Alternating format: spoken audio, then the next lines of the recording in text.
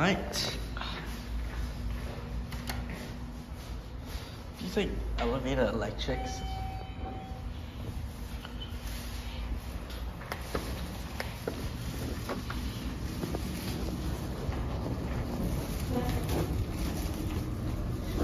Where are we going?